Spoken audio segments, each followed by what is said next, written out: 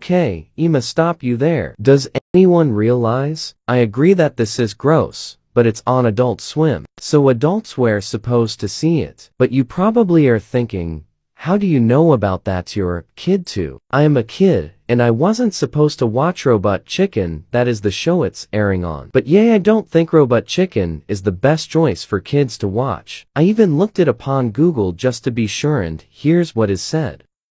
Parents need to note that this frenetic, 15-minute series is part of the Cartoon Network's late-night, Adult Swim block. While it's visually entertaining, it's violent and irreverent, and kids and tweens probably won't get this, we won't get this style of humor. I'm also very sorry to the ones who got unlucky and saw the video at the beginning. It is sick and gross but it is for adults I mean it is called Adult Swim for a reason.